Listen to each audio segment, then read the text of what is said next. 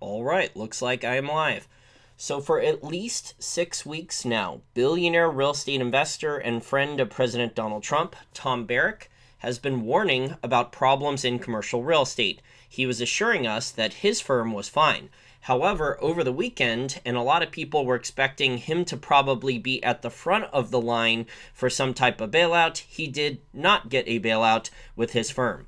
So as you can see there on your screen, over the weekend, the Real Deal, which is New York real estate, also I, uh, which is a New York real estate website, but the Financial Times was also reporting that his firm, Colony Capital, defaulted on $3.2 billion in loans backed by hotel and healthcare properties, according to a regulatory filing first reported by the Financial Times. Now I am on Seeking Alpha's website looking at shares of Colony Capital, which is CLNY on the New York Stock Exchange. It was only down about 11% today. It did not collapse, you know, 30, 40, 50, 60% or more, shockingly. Now I was warning when people are asking about real estate investment trusts. I want to say over a month ago, maybe it was six weeks ago, and I was doing some shows on it, warning about Tom Barrack's warnings. I thought it would be, probably be other firms rather than his own. It's kind of ironic. But I was warning back then about uh, hunting for yields on these real estate investment trusts that there was more shoes to drop because look at all these restaurants, look at all these um, casual sit down dining restaurants, look at all these bricks and mortar retailers, look at all these other uh, either retailers or mom and pop places that cannot pay the rent. Cheesecake Factory couldn't even pay their rent, and they were successful at one point. Although now, uh, who knows if they're doing takeout or delivery? I haven't heard any stories. I suspect their takeout and delivery businesses not doing very well. But these real estate investment trusts, again, this all goes back to the cash flow problem. If you are familiar with real estate investing, real estate investing, for the most part, unless you are investing in some of the major cities, like New York City or Miami or Washington, D.C. metro area or San Jose, San Francisco area, real estate investing is all about cash flows. So, this global cash flow problem that is pervasive throughout all levels of society, it is going to hit real estate even more because most real estate investors are all holding the real estate with debt. That is how most real estate investors make a big return, they use a lot of debt, especially commercial real estate investors and developers. President Trump, when he was just a real estate de- developer, he was always heavily leveraged. So, Tom Barrack, let me continue with this article, but the real estate investment trusts, not safe yield plays. They were yield traps. Now, some of them might be safe, but you have to do a lot of individual work some of them might not have as much exposure to bricks and mortar retailer restaurants, some of the firms that are that are not generating cash flow. So Tom Barrack's prediction that the commercial mortgage market would collapse has now hit close to home. The billionaire magnate's Colony Capital has defaulted on 3.2 billion in loans backed by hotel and healthcare properties, according to a regulatory filing first reported by the Financial Times. Before the coronavirus crisis sent the economy into a spiral, this this uh, video is probably going to get demonetized anyway. That portfolio of 157 hospitality and healthcare related properties accounted for three quarters of Colony Capital's real estate balance sheet. However, the company did not specify how many properties were at risk because of the defaults. So, real estate, like I said, real estate investing is almost always leveraged. Almost every single real estate investor, and I know a lot of successful ones, a lot of good rental property owners, they are all leveraged but they they all had cash flow. Now, I don't know how things have changed in the last couple months, but prior to this, they were getting plenty of cash flow coming in. But you know, obviously, the last two two and a half months, things have changed. Barrack, a longtime pal of President Donald Trump, in March authored a white paper on Medium, which is a blogging website, predicting that margin calls, foreclosures, evictions, and bank failures stemming from the crisis could have an immediate impact greater than that of the Great Depression on commercial real estate, he called for government support of the industry and a $500 billion taxpayer funded liquidity injection into the financial system. Apparently, the Fed's bailouts did not properly go to commercial real estate, especially to one of President Trump's friends. Very interesting. Trump might have been worried about the backlash there, considering the November 2020 elections are coming up. In April, this CEO appeared on Bloomberg Television claiming that the real estate industry was in dire straits because the government was allowing homeowners and renters to skip payments. That's also affecting the people who handle the payments. So, uh, Christopher Whalen, who has Institutional Risk Analyst blog, he's documented this extensively in articles over the last couple months. So, the mortgage financiers, the people who are involved in the supply chain, the mortgage servicers, excuse me. The mortgage servicer companies skipping payments hurts them a lot. He was talking about 40 billion per month shortfalls for mortgage servicers. So I haven't uh, been keeping up with a lot of the blog articles on all that, but he covers all the details extensively over on the Institutional Risk Analyst blog. He's also featured, he's been interviewed on Real Vision TV, Hedgeye, elsewhere. He just had a new interview that was released, I think, on Hedgeye. Okay, real estate industry was in dire straits because the government was allowing homeowners and renters to skip payments. At the time, Tom Barrack said the number of tenants in Colony Capital's portfolio that paid rent was, quote, amazingly good, but predicted a fall off in May. Well, here we are in May. So it's the chickens have come home to roost. As for its recent defaults, Colony said that it could not guarantee its current talks with lenders would be successful. The investment firm has 1 billion of cash on hand and tapped into a 600 million credit facility. Colony's chief financial officer Mark Hedstrom said the company expects to meet its obligations. Well, clearly if they defaulted on 3.2 billion in bonds, I don't know how they could meet its obligations. But Warren Buffett's Berkshire Hathaway portfolio has an enormous amount of exposure to commercial real estate. Wells Fargo has the largest, because they bought Wachovia and other investments the last 10 years, has the largest commercial real estate loan book. Wells Fargo is well over a trillion dollars in commercial real estate loans. And there are a lot of reinsurance and insurance companies with enormous commercial real estate exposure.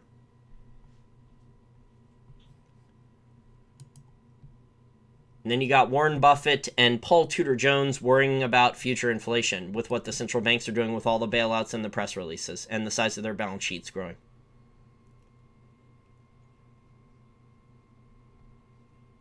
Pretty crazy that a really good friend of President Trump did not get a bailout. I was told by a lot of people that he was going to get a bailout. A lot of my podcast listeners, not friends of President Trump uh, here in D.C. Like my podcast listeners are like, he's gonna get a bailout. Why are you saying that stuff? This was like six weeks ago. They're like, why are you even talking about this? He's definitely gonna get a bailout. Uh, it looks like he didn't get a bailout. Probably because the backlash would be too much for the November 2020 elections.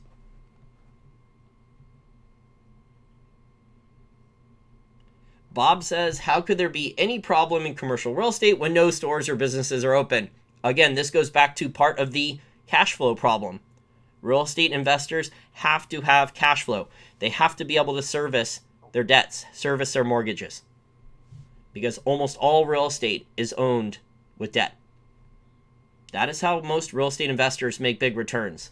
Whether you're a rental property owner or you're a commercial real estate owner, you own a building, you own a couple buildings, you own apartment buildings, it's all about cash flow. But guess what we don't have right now? Cash flow. There's an enormous cash flow problem pervasive throughout all levels of society, and disproportionately, this is going to hurt commercial real estate the most. Well, government and commercial real estate. Oh, I got a super chat. Thank you, David, for the super chat. He says he hopes the Australian property bubble will also burst. Yeah, I saw that interview with Martin North and George Gammon. That was an excellent interview. Shout out to George if he's listening on this live stream show talking about the Australian property market. It sounds like the Australian government they're all in on trying to prevent that, but you know we all know what happens with government intervention that they just make things worse.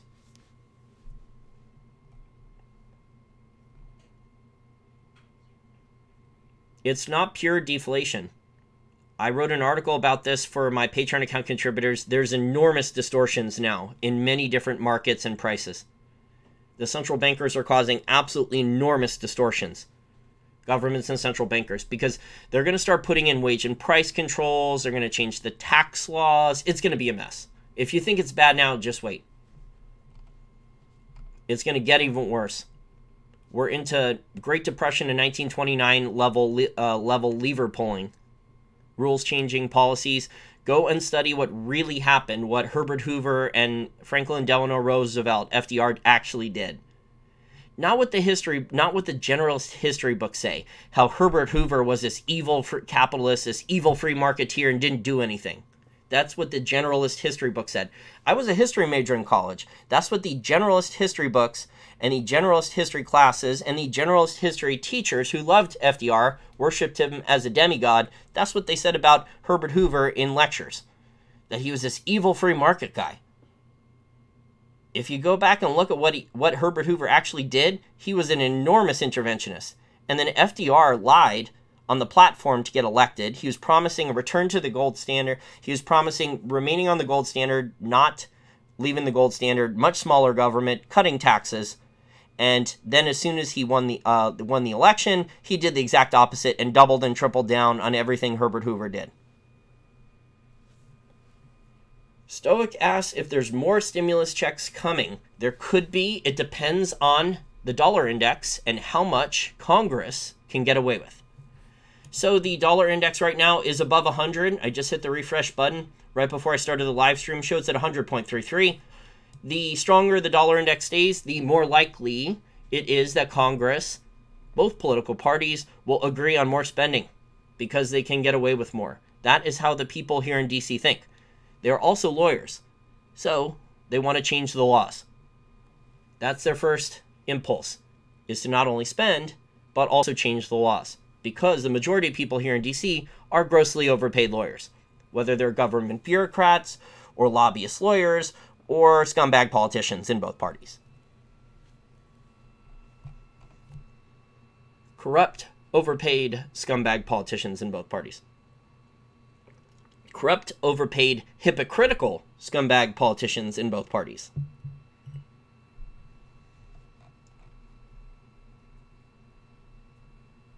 Pablo says he guessed Tom Barrack will get a bailout. Uh, he hasn't gotten a bailout yet, and it looks like they just defaulted. Now, his shares have not gone to zero yet.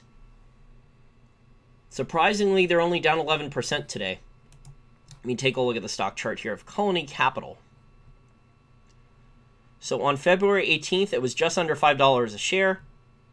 It crashed all the way down to about $1.47 on March 18th. It did rally it's been going, it's been riding the roller coaster now for the last couple months. Ended up a little above $2, and the news just came out probably about a week early, it looks like. Someone got news. Someone got some inside information and traded on that and started shorting the stock. But we haven't had a big collapse yet in the shares again. You'd think you'd think if they defaulted on 3.2 billion dollars in loans, that the stock would have crashed more than 11%. It's interesting. You know, people, the longs are, are probably betting, Pablo, if I had to make an educated guess, the longs probably in that stock are probably betting on a bailout.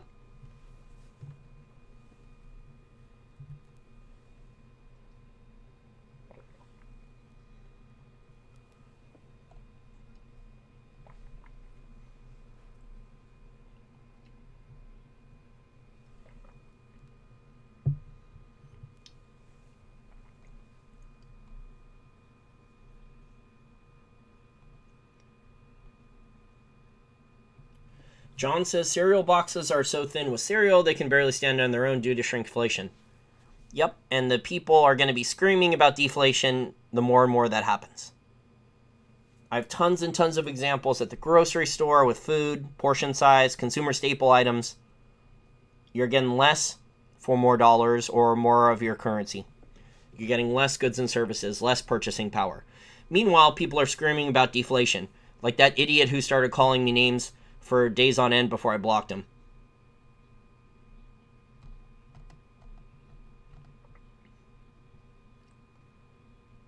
No, I got a super chat, Dimitri. Dimitri says super chats are not working. I, I just got one a few minutes ago.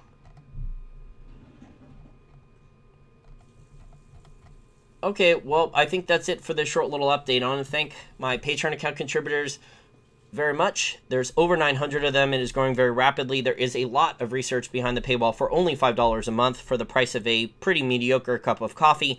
You can take a look at some of my research on the oil market, gold and silver miners, precious metal royalty and streaming stocks, uh, uranium miners, and other markets. Thank you very much to my monthly PayPal contributors. There's still a few of you, although most of you have moved to PayPal. Uh, excuse me, although my monthly PayPal contributors, although most of you have moved to Patreon because, frankly, it's a better deal for what you chip in. You're getting a lot more content beyond the paywall there. Thank you to people chip in once in a while. You can go to my website if you want, and you can make a one time donation through the donation link. And I also take uh, the top six cryptocurrencies if you want to send some crypto as a tip. But again, in my opinion, I would stay away from most real estate investment trusts because you're going to have to find out the individual assets that each one owns and how exposed they are to this commercial real estate bust that looks like it's going to get worse before it gets better. This cash flow problem I've been talking about for the last couple weeks, maybe a month, it is disproportionately killing commercial real estate because of the debt levels. If you understand real estate investing, you understand the amount of debt that these real estate investors use. And, and the, the math, the numbers for real estate investors who are using debt do not work without cash flow. And guess what we don't have right now? Cash flow. So, the commercial real estate market, it's going to get a lot worse before it gets better unless the economy restarts and we start to get cash flow, which means that people are paying their rent, businesses are paying their rent, businesses are having customers either buy goods or services or food at restaurants, bricks and mortar retailers maybe we're going to get a little bit of that. But if restaurants open at 20% capacity, 25, 30, 35%, I'm not optimistic because the, the economics of the restaurant, also the conditions of the uh, PPP loan, the SBA loan, payroll protection loan, I think only 25% maximum is allowed to be paid for rent. The majority of it has to be paid on payroll. So this is not going to benefit these holders of commercial real estate holding those on mortgages they're not going to get enough cash flow to help. So, commercial real estate, if I could leave you with one more thing, commercial real estate will be disproportionately killed because of this cash flow problem. We will see if governments will step in with bailouts, although it looks like as of right now, Trump's friend Tom Barrack is not going to get a bailout. Maybe they will in the weeks to come, but we'll see. But it's interesting that they already defaulted on the loans before they got bailed out because a lot of people were telling me listen to this podcast that they're not going to default on anything, that Tom Barrack is a good friend of Trump and that he's going to get a bailout for sure. Well, why did they allow then $3.2 billion in defaulted loans? We'll have to see. Because you know what? The rules could change tomorrow, and then the next day, and then the day after that. This is the new normal now. Lots and lots and lots of rules changes. It sucks. You're going to have to keep on your toes. Welcome to Dystopia. Again, don't forget to smash the like button or click or tap it. Thank you very much for your time.